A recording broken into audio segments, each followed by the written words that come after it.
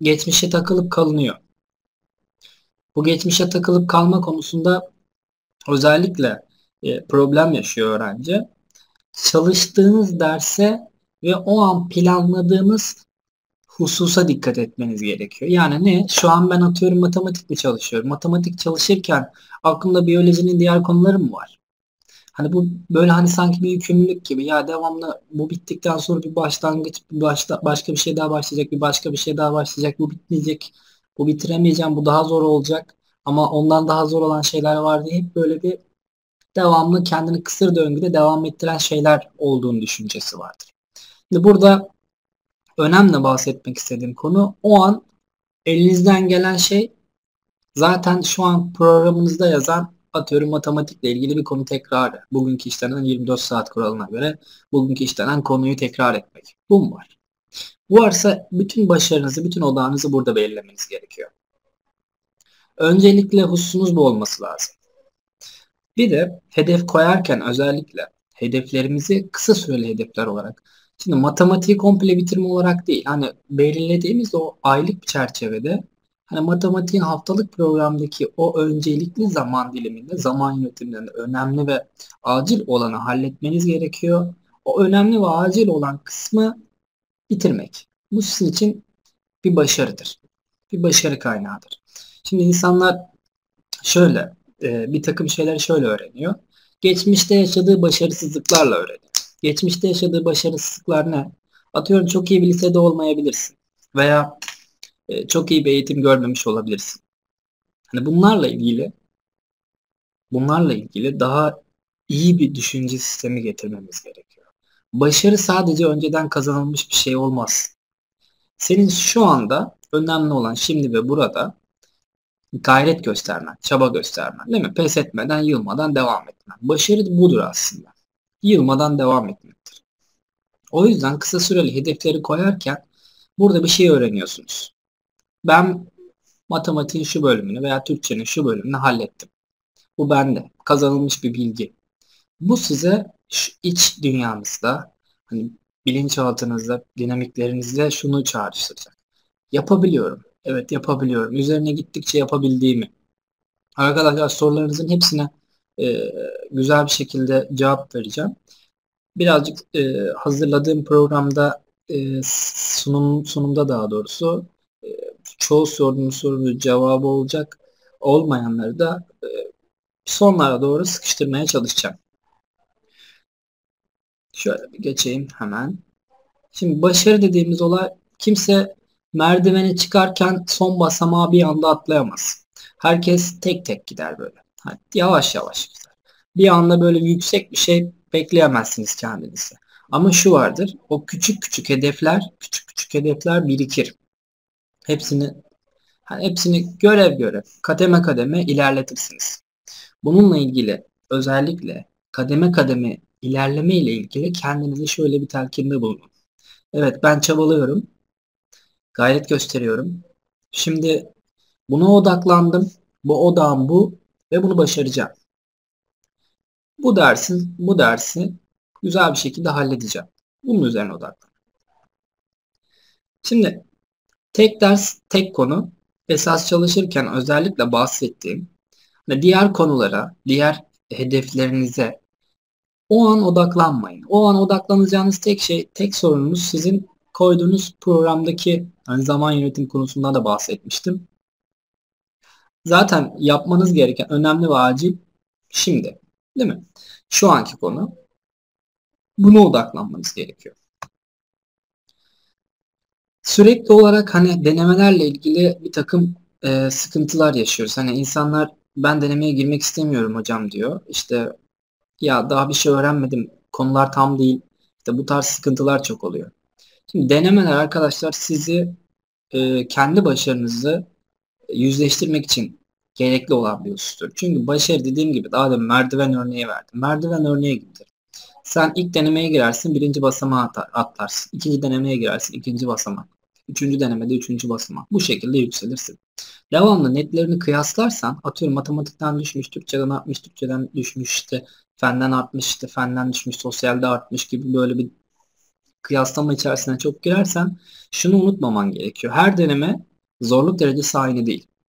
Hani o an çıkmış sorular senin bildiğin konularla alakalı olabilir. Buradaki şey senin e, hani başarısızlığını görme gibi bir şey olamaz. Çünkü orada gösterdiğin her halükarda senin bir başarındır. Orada yaptığın her sonuç belki hedefinden uzak olabilirsin ama senin sonucundur. Bunu gayret göstermeniz gerekiyor. Hani ne olursa olsun, ne, ne pahasına olursa olsun her şeye rağmen o odaklandığınız deneme sınavını bitirmeniz gerekiyor. Şimdi başlangıçta ders programını hesaplayıp ona göre ders programı yapılmış dedim özellikle. Hem zaman kaybının hem de sürekli moral bozukluğuna sebebiyet verebiliyor bu olay. Moral bozukluğuna sebebiyet vermemesi gerekiyor. Hani planladığınız dersleri çalıştıktan sonra denemede yapılmamış olmanız gayet normal bir şey. Bununla ilgili tekrar bir çalışma gerektirilebilir. Bunu aylık programınızı hazırlarken bunu da ekleyebilirsiniz. Hani şu konudan ben çalıştım ama eksik var. Bu konuyu tekrar eklemek istiyorum. Aylık programına. Bu bağlamda da sizin hazırlayacağınız haftalık çizelgeyle hani ben özellikle bahsetmiştim mezun mezun öğrenciler ve mezun olmayan 12. 11. sınıftaki öğrenciler için ayrı bir program e, tarzı benimsetmiştim. Onda bir önceki e, ders yönetim konusunda bakabilirsiniz. Faydalı, fayda sağlayacağımı düşünüyorum size. Şimdi bir öğrenci neden çalışır? Hani neden ders çalışıyoruz biz? Neden? Hani bunun bunun gerekçesi ne? Neden buradasınız? Yani burada şu an 30 tane katılımcı var. Burada olma sebebiniz ne? Neden ders çalışıyorsunuz? Neden üniversite sınavı? Hayatta sadece üniversite sınavı belirlemiyor ki insanın başarısını. Neden şimdi burada bu üniversite sınavı için e, başarı için burada odaklandık? İyi bir gelecek bu sınav için seni e, kapsayacak mı? Hayallerim var. Çok güzel. Aç kalmamak için çok güzel.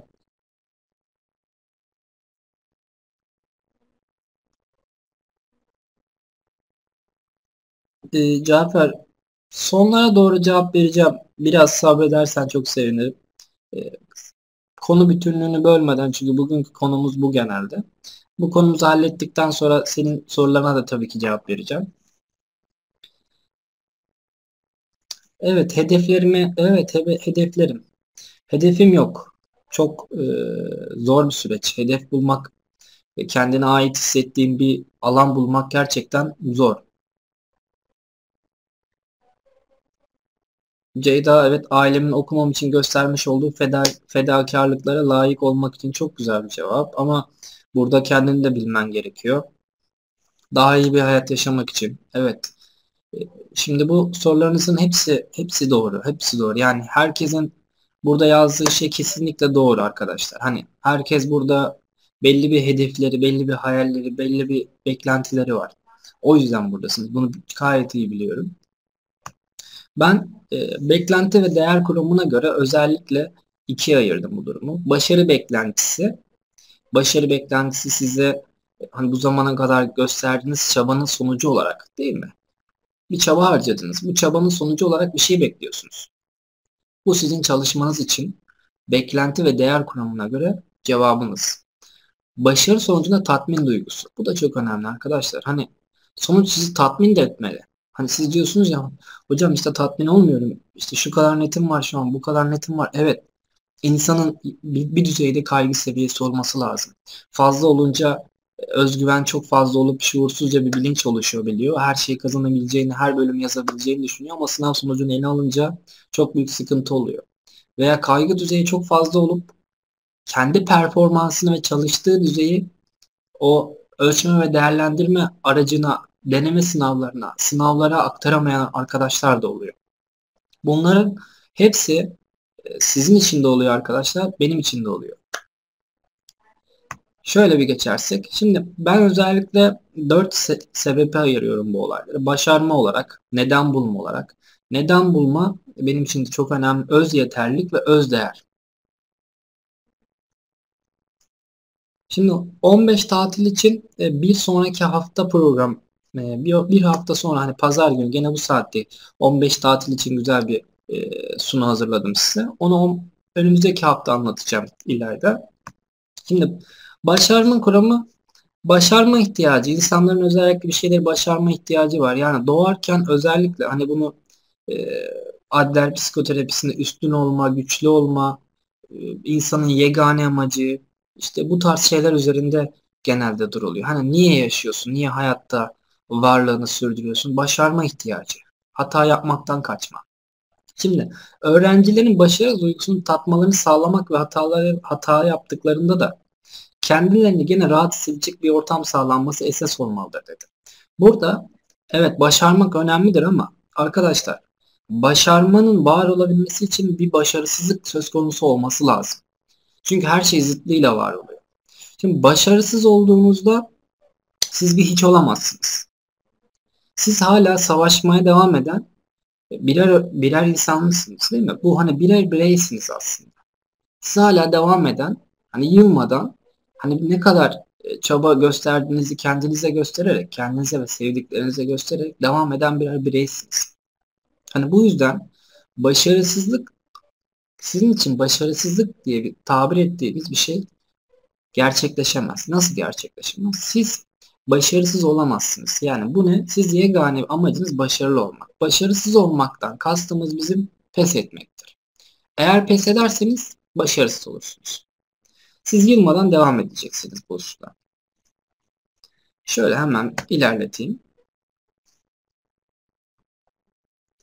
Şimdi neden bulma, neden yükleme olarak geçmişte. Geçmişte yaşanan başarısızlıkların nedeni kontrol edilemeyen bir sebebe bağlanırsa başarıya duyulan inanç azalır. Şimdi inancın azalması buna bağlı olarak da motivasyon düşmesine sebebiyet verecektir. Şimdi neden bulma? Hani e, Akif orada yazmışsın. Hedefim yok. Hani bir neden. Kendinize bir neden yüklemeniz lazım. Hani neden? Neden ben bu sınava çalışıyordum? İşte şu hedeflerimi gerçekleştirmek için. Şu hedeflerim derken hemen bir e, hedef koyma yapıyoruz. Yani kendimiz için şu an evet güzel bir gelecek. Güzel bir geleceği nasıl elde ederim? İşte kendimi şu alanda ilgili ve yetenekli hissediyorum. Şu alana yönelmek istiyorum. Bunun için de çaba göstermem gerekiyor. Ne kadar çaba göstermem gerekiyor? İşte taban puanlarına bakarsınız. Üniversiteleri araştırırsınız. Bunun üzerinden bir sebep sonuç ilişkisi kurarsınız. Burada çok önemli bir şey vardır arkadaşlar. Öğrenilmiş çaresizlik denen bir sistemimiz vardır. Şimdi özellikle başarısızlıkların nedeni kontrol edilemeyen bir sebebe bağlanırsa bakın bunu bilinçli olarak fark edemezsiniz. Eğer bir şeylerden kaçıyorsanız devamlı bu gerçekleşmiş olabilir. Bunun gerçekleşmesi şöyle açıklayabilirim size. Sirkte yetiştirilen filler vardır. Sirklerde böyle çok küçükken küçücük bir kazığa bağlanır o sirk. Sirkte o fil. Fil de küçüktür. Fil o kazığa bağlı olduğu için kıpırdamaya çalışır ve kazığı oynatamaz. Hani yeterli gücü yoktur o sıra. Fil büyür. Fil devamlı büyür. Kazığın boyunu da geçer. Ama der ki zaten ben bu kazığı hareket ettiremiyorum. Harekete geçmiyor. Ama yeteri kadar büyüdüğünü bildiği için ve o kazığın da oynamayacağını bildiği için hareket etmiyor. Sabit kalıyor. Yani bu durumla ilgili pes etmiş. Çünkü zamanında çok denemiş ve bir şeyler gerçekleşmemiş. O zaman ne yapmış? Bu başarısızlığı öğrenmiş. Hani benim sınırlarım bu diyor. Siz burada bu örneği kendiniz üzerinde de değerlendirebilirsiniz. Hani iyi bir lise geçmişi olmayabilir. İşte iyi bir eğitim hayatı olmayabilir. Deneme sonuçları çok vasat olabilir. Ama şunu bilin. Burada aldığınız eğitimler, aldığınız dersler sizi hani o kazı kırmaya yarayacak güce ve potansiyele sahip olan birer insan olduğunuzu kanıtlarsınız. Bu sizin tamamen çalışma düzeninize bağlıdır.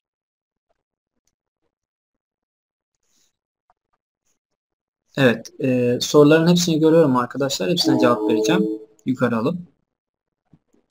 Şimdi neden bulma gerçekten benim için önemliydi. Şimdi Robin Sharma'nın e, bir sözünden bahsedeceğim. Bahane üretmek konusunda kusursuz olan insanlar başka hiçbir konuda kusurlu olmazlar. Hani bahaneler insana gerçekten e, geri plana atar. Gerçekle yüzleşmesini engeller.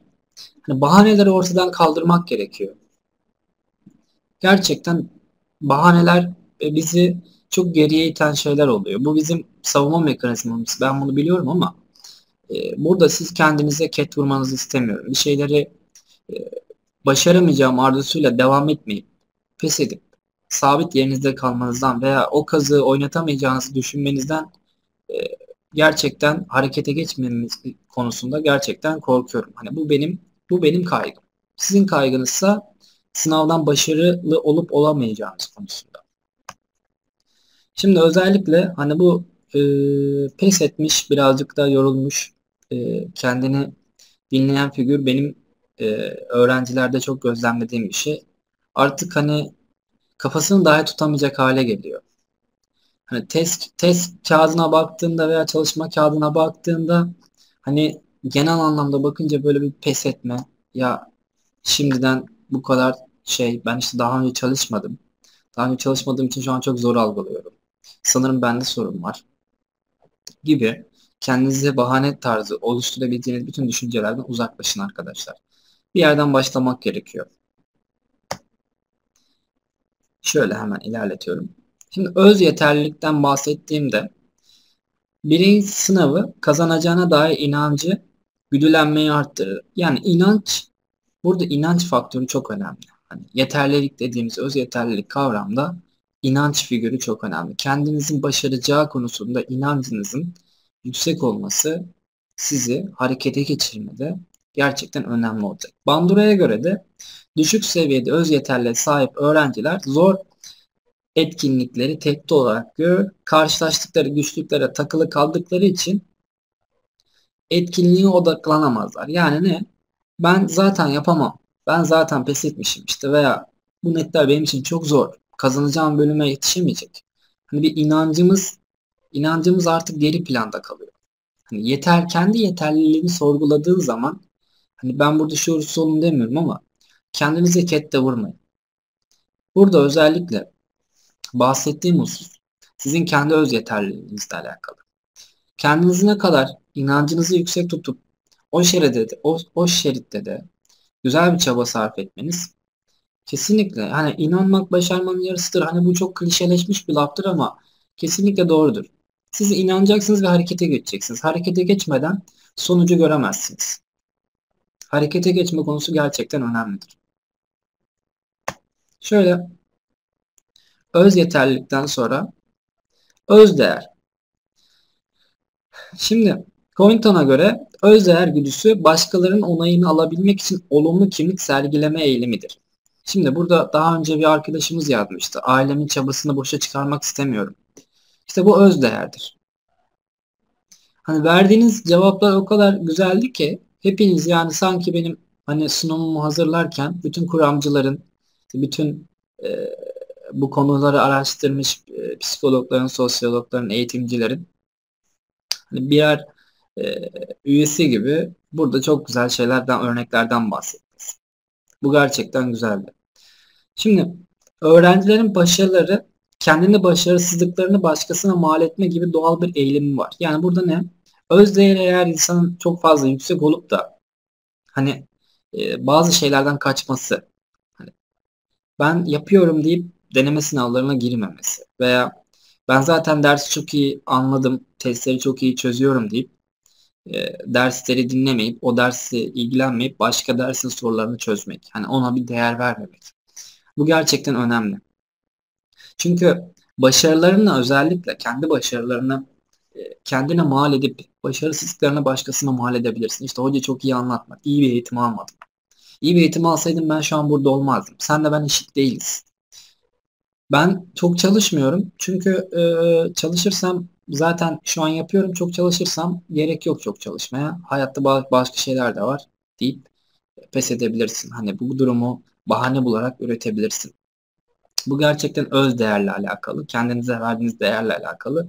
Zor bir şey gördüğünde tehdit olarak algılayıp bu tehdidi e, hani kaçarak özellikle öz değer kurumunda kaçarak e, bu değeri iptal edebiliyorsunuz. Yani ne? Deneme sınavı. Öğrencinin en çok kaçtığı yer. Değil mi? Deneme sınavı. Deneme sınavını görünce işte hocam ben onun yerine işte bir deneme sınavı işte 2 saat 40 dakika işte bir deneme sınavı şu kadar bu kadar. Ben o sırada daha çok konu çalışırım. Evet konu çalışırsın kesinlikle ama bir haftada bir, bir denemeye ayıracak vaktin yok mu? Hani bunu sanki şey gibi hani gezmek gibi düşünüyor öğrenci. Yani dolaşmak gibi. Böyle bir şey değil. Deneme sınavı gerçekten önemli bir şey. Şöyle öz değer kuramı için özellikle bahsedeceklerim. evet böyle bir küçük bir e, şey koydum. Hep senin yüzünden aptal duruma düşüyorum tarzı. Evet çok çalıştığımı e, göstermemem lazım insanlara. Çünkü çok çalıştığımı gösterirsem e, bu sonuçlarla beraber insanlara e, kötü gözükürüm. E, çok çalışıyorum ama yapamıyorum. Acaba benim zeka seviyemle ilgili dalga mı geçerler? E, gibi e, bir takım şeyler ortaya çıkıyor. Hani bunu hep ben bahsediyorum. Yani senin çalıştığın her zaman kendine. Bir başkası seninle ilgili bir görüş oluyorsa zaten e, sen niye oturup çalışmadın? Hani ben çalıştım başaramadım. Sen o e, hani öz yeterliliği gösterip o çabayı gayreti gösterip onu bile yapmamışsın. Bu tarz şeyler cevap olarak sizin hani savunmanız olarak gerçekleşebilir. Şimdi rekabetçi bir ortam özellikle öz değerle alakalı rekabetçi bir ortamda başarılı olduklarını değer ve onay gören öğrenciler için başarısızlık öz değere hasar veren bir sebep olabilir. İşte bu yüzden kaçılıyor. Yani kendi öz değerinize hasar vereceğini düşüncesiyle beraber bu tarz uyarıcılardan kaçınıyor. Rekabetçi bir ortam, işte deneme sınav sonuçlarının açıklanması, işte sınav sonuçlarını öğrendikten sonra öğrencinin hocam sınav sonuçlarını okumayın tek tek işte bize verin tarzı söylemleri. Hani insan sosyal bir varlık bunu kabul, edi kabul ediyorum ama burada kendi başarısızlıklarınızı bir insanla e, başarısı gibi veya e, bir başkasının başarısızlığı bir senin başarın gibi görmek hani bunu aciz insanlar yapar. Bu, bu seviyeye düşmenizi istemem. Yani çünkü sizin başarınız size aittir. Kendiniz kendinizi kendinizle kıyaslayabilirsiniz ancak bir önceki performansınıza bakarak tabii bunda da bir dünya bağımsız değişken vardır. Hani o anki zaman dilimiyle bu anki zaman dilimi de eşit olamaz. O yüzden kendinizi kıyaslarken bile kendinize çok dikkat etmeniz gerekiyor. Şöyle hemen geçiyorum. Şimdi özellikle öz değer kuramıyla performans göstermeme. Yani performans ben zaten yaparım deyip herhangi bir e, çabaya yeltenmeme.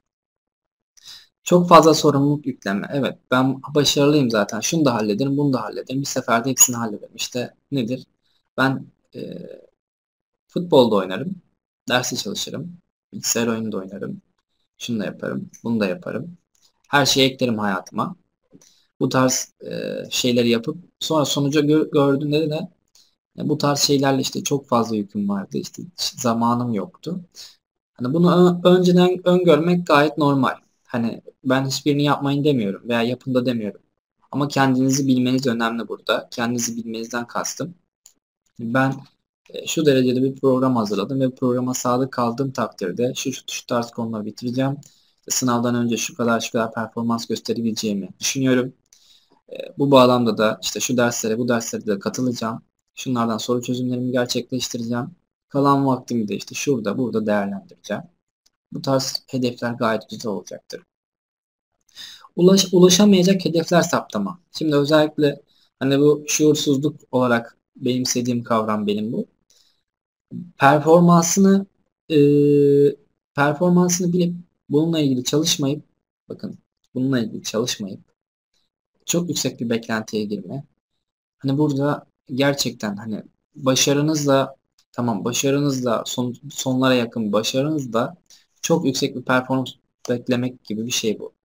Yani performansınızı özellikle ayarlarken burada şunu da görmeniz gerekiyor. Hani şu anki performansım, kendime kattığım performans, işte yaptıklarım, şu zamana kadar gösterdiklerim bunlar gerçekten çok önemli.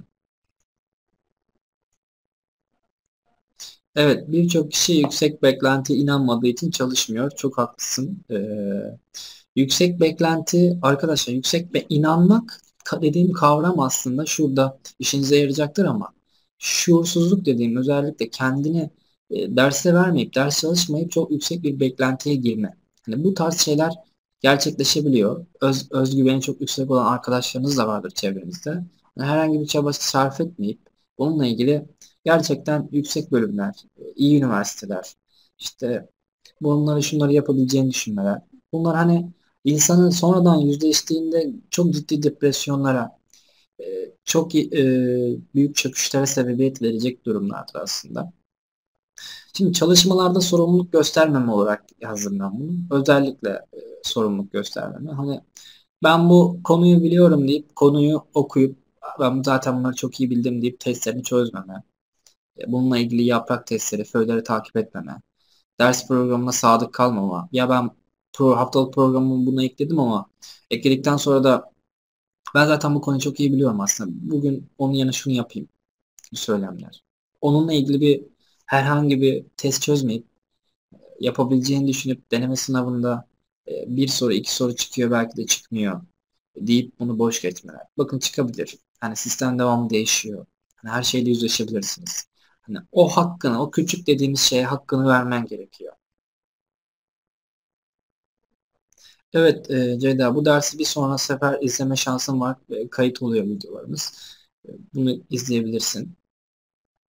Şimdi arkadaşlar e, ben şimdi sorularınıza özellikle bakacağım. Bayağı bir soru birikti. O sorudan şöyle yukarı geçerekten hemen bakıyorum sorularınıza bir saniye. Şöyle yukarı geçiyorum. Evet. Telefon bağımlılığı hakkında e, bir sorunuz olmuş sanırım. Telefon bağımlılığı, evet insanlara son zamanda teknoloji bağımlılığı, maddiye kötüye kullanım tarzı şeyler görüyorum. Maddiye kötüye kullanım. E, burada şununla ilgili bağımlılık konusunda özellikle belirtmem gereken toleransın arttığı. Tolerans dediğim nedir? Hani siz şu an 5 dakika veya 10 dakika bir telefona zaman ayırıyorsanız gitgide zamanla bunun arttığını göreceksiniz. Bunu arttığını gördüğünüz zaman da hemen 3 kriterde incelemeye başlayacaksınız. Hani bu durum benim e, beni zarara sokuyor mu? Birinci kriter zarar. Hani fizyolojik bir zararda göz problemi işte odaklanma problemi, baş ağrısı, e, gözde bulanıklık bu tarz şeylere bakmanız gerekiyor. İkinci işlev kaybı. Hani sizi kendi ders çalışmanız, e, kendi sorumluluklarınız, hani sizin isteyerek aldığınız bu e, mücadeleden engelliyor mu? Bunu incelemeniz lazım. Eğer engelliyorsa bununla ilgili bir dur demeniz gerekiyor. Belli başlı şeylerden feragat et, edip o tarafa yönelmeniz gerekiyor. Üçüncüsü de sıkıntıyı. Hani eğer bu telefonla ilgili bakmadığınızda kendinizi kötü hissediyorsanız bununla ilgili gerçekten bir e, sıkıntı boyutunda oluyorsa eğer bununla ilgili bir uzman danışmanızı isterim. Çünkü bu bağımlılık derecesi aslında bir kişilik bozukluğu. Siz sadece telefona değil herhangi bir nesneye de bağımlı olabilirsiniz gelecek seferlerde. Bununla ilgili çalışma yapmanız lazım. Daha TET bitmedi, geç mi kaldım demişsin Mustafa. Kesinlikle geç kaldın diye bir şey söylenemez. Ee, sen bugünden başla. Hani yarın çok geç olur. Her zaman söylüyorum. Şu aklına geldiğin zaman direkt başta bununla ilgili güzel bir zaman yönetimi yap.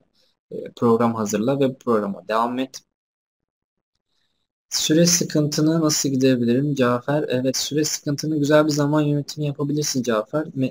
E, özellikle mezun grubu musun yoksa 11-12. sınıfta mısın bilmiyorum ama bununla ilgili bir önceki dersimizde e, anlattığım sunuya bakarsan çok verimli olacağını düşünüyorum. Performans odaklı çalışma mı oluyor süre, kısa süreli çalışma? Performans odaklı değil daha çok kısa süreli çalışmada şöyle bir şey var. Kısa süreli hedeften bahsetmiştim ben İrem. Kısa süreli hedeflerden de basit hedefler. Yani bir konu. Matematiğin işte %25'ini, %30'unu, %40'ını bitirmek değil, matematiğin o konusunu o hafta içerisinde koyup o konunun üzerine odaklanmak. Hani ne? Atıyorum e, sayılar. Sayılarla ilgili şeyi bitirdiğiniz zaman o sizin kısa süreli hedefinizdir. Bu tarz şeyden bahsetmiştim. Ocak ayı için çalışma konusunda öneriniz nedir? Ocak ayında özellikle e, deneme sınavlarını sıklaştırın, AYT konularına önem verin ve Ocak ayından itibaren özellikle ben e, aralığın sonundan başlattırdım e, diğer arkadaşlarımıza. Öğretmeni artık geçin. Hani öğretmeni geçin kavramından ne anlıyorsunuz? Konuları ileriden gidin. Çünkü öğretmenlerin hepsi konuları zamanında bitirecektir ama siz kendi performansınızı yükseltmek için hani bazı konuları ileriden ilerletmeniz gerekiyor. Çünkü AYT konuları hep sona saklanır. AYT konuları önemlidir. güzel puan verir. E, zaten sizi yerleştirecek asıl husus da odur. O yüzden ileriden gitmek size bir avantaj sağlayacaktır. Bu avantajı lütfen e, e, egarte etmeyin.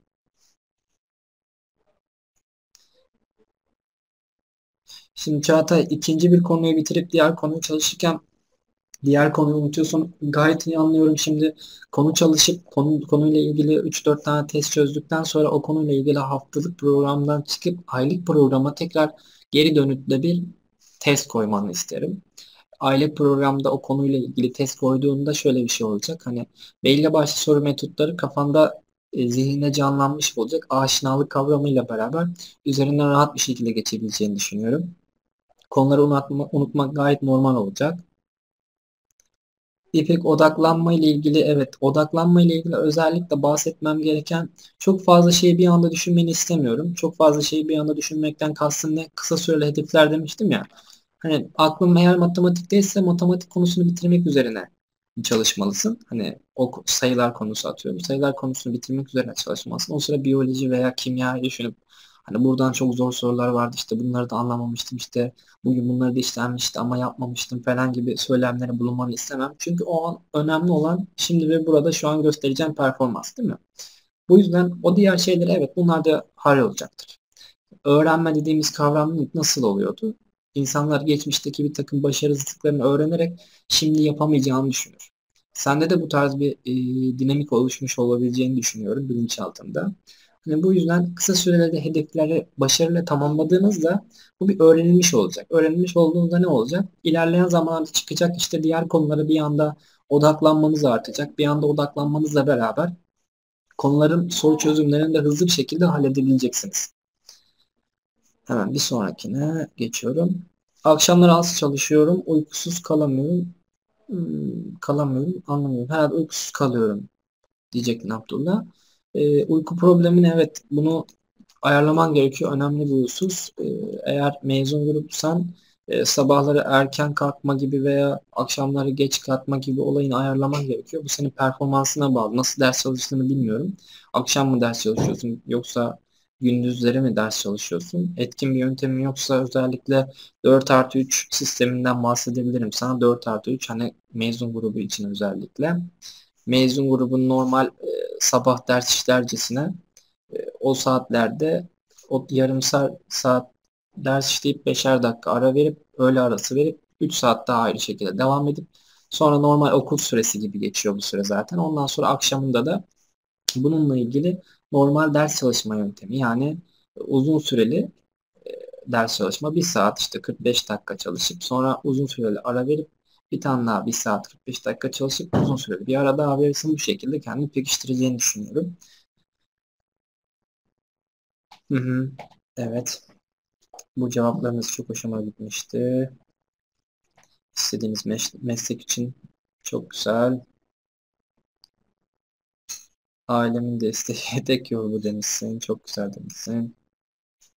Hiç oldu fedakarlık. Hemen hepsini 15 tatil için e, önümüzdeki hafta kesinlikle bir güzel bir e, size geri dönüş yapacağım. Sınav bulanımında nasıl atlatırız? Kötü etkileniyoruz. Evet, e, sınav sınav bulanımı, evet sınavda ölçme aracı e, siz başarısız olarak nitelendiremezsiniz kendinizi. Bu sınavda ölçtüğünüz sizin şimdiki ve şuradaki performansınız olabilir. Ama hayatta nereye geleceğinizi bu sınav belirlemiyor. Hani bu tarz bir düşünce sistemiyle beraber kendinize olan öz değerinizi, öz saygınızı yitirmemenizi isterim. Bayındır. Yazmışsın bu sanırım. Hocam TYT'de denemede 200 puan falan geliyor. Bu puanı yükseltemiyorum diye korkuyorum. Evet e, Emircan belki hiç yükseltemeyebilirsin ama şunu unutma eğer pes edersen hiç yükseltemeyeceksin. O yüzden gayret göstermelisin. Yani burada asıl çözmen gereken mesele senin gayret gösterip göstermeyeceğin hayatta savaşçı ruhunu devam ettirip devamlı mücadele etmeyeceğin. Bunu göstermen gerekiyor kendine. Kendine bunu gösterdiğin takdirde senin istediğin başarı basamak gibi geri gelecektir sana. Hocam çalışmak istiyorum ama telefon yüzünden çalışamıyorum. Ne yapmalıyım? Evet. Telefon konusunda eğer iraden, irade sahibi bir insansan bunu kenara kaldırıp koyma yetisini bilmen gerekiyor. Eğer hocam ben irademe gerçekten sahip çıkamıyorum dersen akıllı telefonu kendince iptal edebilirsin. Ama ben iradene sahip çıkabileceğini düşünüyorum ki çünkü kimse engellenemez. Engellenen insanlar genelde saldırgan olur. Saldırganlaşmaman için, kendine öfke duymaman için veya ailene veya sevdiklerine veya bir nesneye karşı bir öfkelenme olmaması için bunu güzel bir şekilde yönetebileceğini düşünüyorum. Bunu yönetmen her şeyden önemlidir. Çünkü hayatını da yöneteceksin bu konuyla ilgili. E, İlayda, evet hocam ben çok iştahlı çalışıyorum. Hatta asla netlerimi iyi gelmez de bana göre yani hiç bırakmadım ama son zamanlarda 10 dakika çalışmak bile çok zor geliyor. Kendimi anca ayağa kaldırıyorum. Yapmalısın diye. Evet hedeflerinizi burada sizin için gayet önemli olacak. Hedefleriniz çünkü sizin için en büyük ilgi kaynağınız. Sizin e, buradaki burada derste bulmuşsunuz. Buradaki varoluş amacınızdan bir tanesi başarma duygusu. Başarmanız için e, elinizden geleni yapmalısınız. Çünkü başarma sonucunda size bir tatminlik verecek. Bu tatminlik size bir mutluluk kaynağı olacak. O yüzden başarmak için hedeflerini tekrar sorgulamanı isterim. Onlar seni ayakta tutacaktır diye düşünüyorum. Maymet, evet. Senin soruna da hemen bakıyorum. Hocam ben gündüz hiçbir türlü çalışamıyorum. Çok deniyorum ama olmuyor. Ne yapmalıyım? 6 gibi falan hmm, geliyor yazmışsın. Gündüz çalışamıyorsun akşam dene. Bu durumla ilgili kendine nerede rahat ettiğini bir bul. Rahat ettiğin yerde çalışmaya başla. Kendine sıkıldığın veya zorlandığın zamanlarda e, aklına şey getir. E, beklentilerini, hedeflerini getir. Bununla ilgili kendini birazcık yorabilirsin. Ama şunu unutma, e, çok uzun süre e, ders başına durma. Çok uzun süreden güzel bir ara da ver. Kendini dinlendir, ödüllendir de. Bu şekilde ilerleyebileceğini, sorumluluk duygusunu unutma. Sorumluluğu sen kendin aldın. Bu sorumluluğu yerine getirmek için de çaba sarf etmen gerekiyor. Çabanı sarf et. Hemen devam ediyorum arkadaşlar. Hemen evet aşağı çekiyorum. Kurstaki fizik dersinden hiçbir şey anlamıyorum. Hoca e, Ayş isimli hocayla yetişemiyorum. Kendi kendime tamamlasam mı daha iyi? Dinlemeyi bırakmamalı mıyım?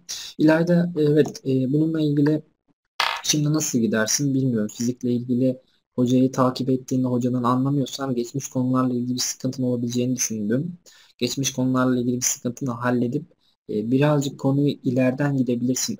Özellikle hani Aralık ayı itibariyle ben öğrencilere çok bahsetmiştim bu durumda. Konuyu ileriden gittiğinde hocanın anlattıkları senin için güzel bir pekiştireç olacaktır.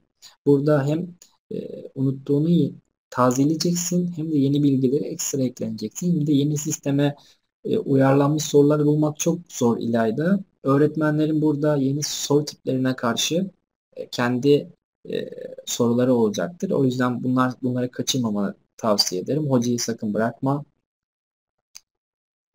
Birçok kişi inanıp inandık, e, inandıktan sonra devamını getiremeyeceği için yapamıyor demişsin. Evet inanıyor ama öz yeterliliği gösteremiyor. Kesinlikle haklısın. İnanmak yarısıdır. Diğer yarısı da çaba sarf etmektir. Hani bunun için bir yeterlilik göstermektir. Emre yaz sen ee, hocam yarın başlayacağım ama yarın başlayacağım yarın başlayacağım diye erteleyip erteleyip duruyorum. Netlerim iyi ama bu beni kötü yapıyor. Ders çalışmamak gibi. Evet Emre öz değerle ilgili anlattığım her şey sana e, kesinlikle bir cevap olacaktır. Hani bununla ilgili zaten bahsettim. E, test çözerken çok iyi yapıyorum ama deneme Denemede heyecandan deneme 3-4 tane soruyu doğru bulup yanlış işaretledim. Bununla ilgili nasıl yapabilirim? Kemal bununla ilgili yapacağın tek şey seri denemeler. Seri denemelerle beraber bunun üstesinden geleceksin. Çünkü başardığını gördükçe e, çaba harcayıp sonucu gördükçe bununla ilgili etkileşimin artacaktır ve odaklanman da artacaktır. İstemsizce bu gerçekleşecek. Evet. E, soru çözmekle alakalı evet çok güzel. Emre cevap yazmışsın arkadaşına. Birçok kişi yüksek be beklenti inanmadığı için çalışmıyor. Evet. Beklentiyi arkadaşlar çok yüksek koyduktan sonra yani hedefinizi çok yüksek koyunca bununla ilgili performans göstermek zor oluyor. Çünkü bu bahsettiğim öz değerde performans artı sorumluluk almama aldıktan sonra da işte bununla ilgili gerekli çabayı, mücadeleyi göstermemek oluyor. Çünkü kaybedeceğiniz bir tehditte sizin özdeğiniz çok zedelenecek. Ben yapamıyorum deyip düşebileceksiniz. O yüzden hedefiniz her zaman evet elimden geleni göstereceğim. Başaramasam da bu benim deyip bunu kabul etmeniz gerekiyor. Kabul ettikten sonra zaten devamlı bununla ilgili mücadele etmek gerekiyor. Hı hı. Evet kursta deneme sınavı oluyor. Sonuç açıklandığında yazmışsın. Cevabı gelmemiş Emircan. Bu ders daha sonra evet izleyebiliyorsun. Nereden izleyeceğiz? Ee, web sitesinden izleyebilirsiniz. Hı hı. Evet, e, kendini kıyaslayacağın kişi kesinlikle kendin olmaması lazım Emircan. E, hani diğerleri olmamalı. Kendini kıyaslayacağın husus senin çalışma performansında zaman yönetimin açısından kıyasla gayret göstermeni odaklan, odaklandığın husus bu olsun. Gayret göstermen. Hı hı. Evet sorularınıza bakıyorum. Bayağı yazmışsınız. Birbirinizi tavsiyede bulunmuşsunuz. Çok güzel. Hı hı.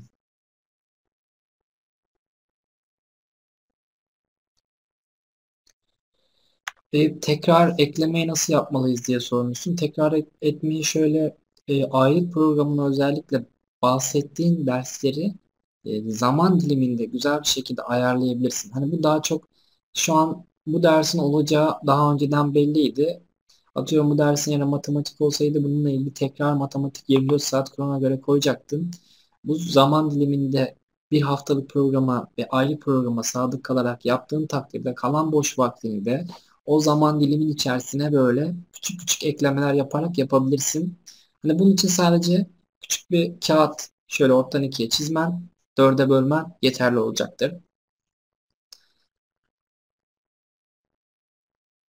Hı hı. Evet konulara doğru orantılı biliyorsunuz. Evet çok güzel cevaplar yazmışsınız.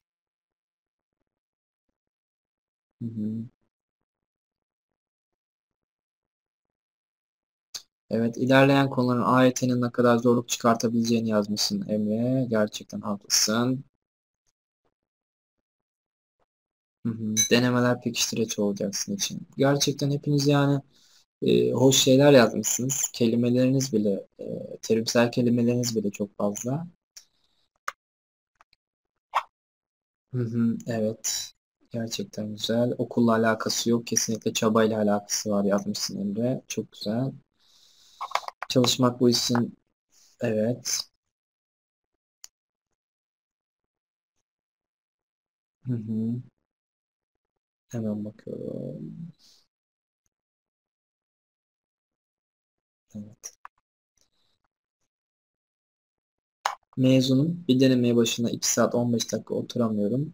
Ee, şimdi özellikle denemenin başına oturmak için şöyle Zeynep 2 şöyle part part koyabilirsin kendine. Atıyorum Türkçe TYT denemesi. 40, 40 soru işte. Kendine onunla ilgili bir soru 1 dakika 12,5 saniye, saniye.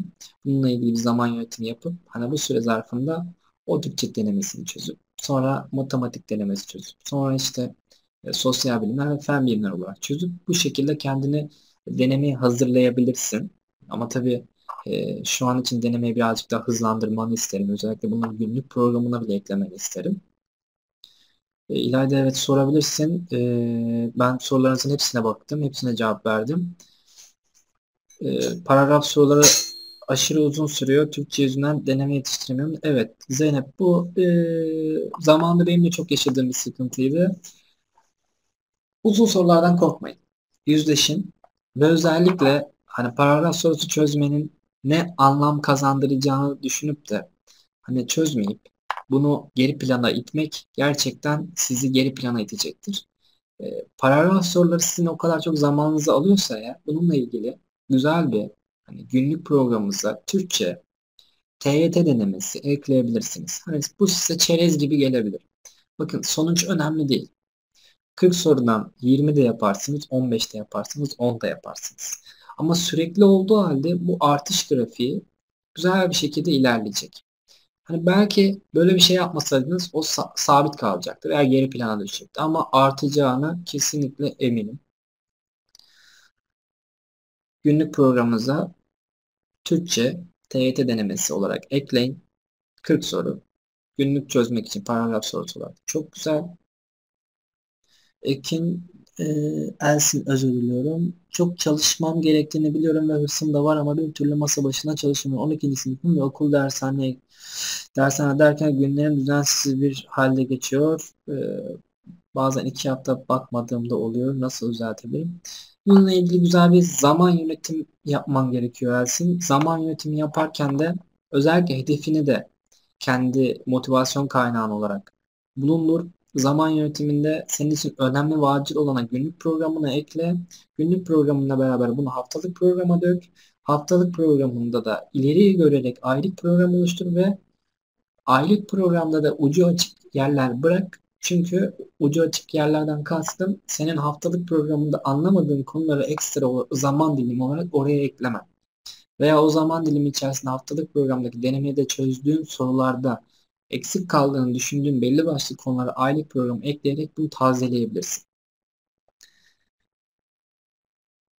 Hocam yazın iyi çalışıyordum ama bu aralar çok sıkıldım. Nedenini de bilmiyorum ama toparlanmam lazım. Ne yapmam? Nihan özellikle kendini neden ders çalıştığın konusunda bir düşünürsen şurada hedefinle ilgili belli bir şeyler olacak. Hani senin başarın, başarı odaklı çalıştığın için hedefinle ilgili başarma konusu senin sorumluluklarını hatırlatacak. Sorumluluklarını da yükümlülük olarak görmediğin takdirde bu sorumlulukları gayet severek ve isteyerek alacağını düşünüyorum. Evet arkadaşlar başka sorunuz yoksa bugünkü dersimi e, burada bitireceğim. Özellikle öz yeterlilik konusunda ve öz değer konusunda e, çok e, bir takım çalışma yaptım. Bunda da zaten özellikle ilk sorularda sorduğum sorularda cevap verdiniz. Daha çok başarma odaklı olarak düşündünüz kendinizi. Sınavda zaten bunu istiyor bizden. Başarma odaklı. Hayatta her şey Türkçe matematik belirlemiyor. Bunu da bilmenizi isterim. Siz çaba sarf etmeyi belki Türkçe matematikle öğrendiniz. Ama hayatınızın her yerinde bu devam edecektir. Elinize mesleğinizi alsanız da çaba göstermek her şeyden daha önemli olacaktır. Kimse artık nereden mezun olduğunuza bakmıyor. Ne kadar çaba gösterdiğiniz, ne kadar verimli olduğunuza bakılıyor. O yüzden çaba, çaba göstermek her şeyden daha önemlidir. Yılmadan, pes etmeden etkin bir biçimde enerjinizi güzel kullanarak devam etmeniz gerekiyor.